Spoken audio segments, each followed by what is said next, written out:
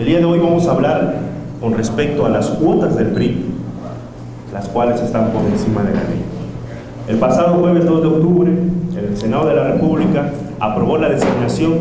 de 67 magistrados electorales que integran las 17 salas,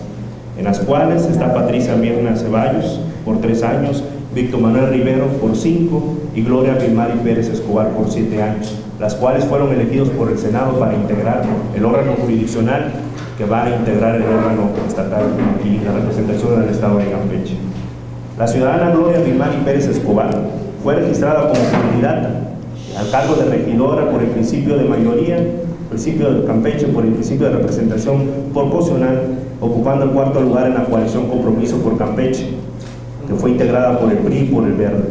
en el proceso electoral ordinario en 2012. Por lo tanto, he de resaltar que la ciudadana Gloria Pilmari Pérez Escobar no cumple los requisitos establecidos por la Ley General de Instituciones y Procedimientos Electorales, el artículo 115, en el cual, en su inciso J, señala que no haber, uno de los requisitos para poder ser magistrada es no haber sido registrado como candidato a cargo alguno de elección popular durante los cuatro años consecuentes. Además de lo anterior, la ciudadana Gloria Pilmari incumplió de manera evidente la base segunda numeral 3 de la convocatoria pública emitida por el Senado de la República, donde ella misma emitió un documento bajo escrito de decir verdad, donde ahí desmintió que ella no había sido representante durante los cuatro últimos años.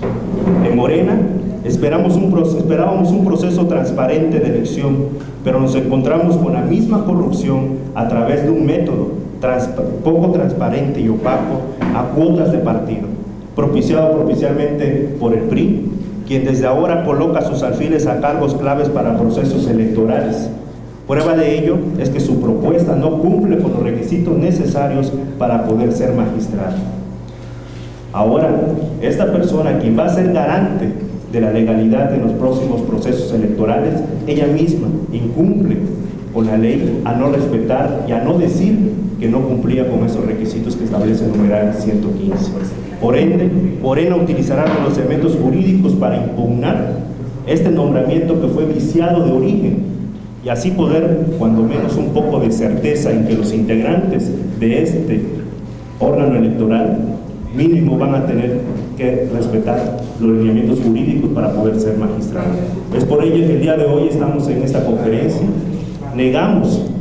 rotundamente que este órgano jurisdiccional tenga nuestra aprobación porque no cumplieron los requisitos. Y es en nosotros decir que ahora las cuotas del partido van por encima de la ley. ¿A dónde vamos a llegar cuando el gobierno quiere poner sus alfiles al frente sin respetar la legalidad y sin respetar nuestra constitución y las leyes que de ella emanan? Por eso hacemos un llamado a la sociedad para que se dé cuenta de que hoy en día todavía el gobierno, por esta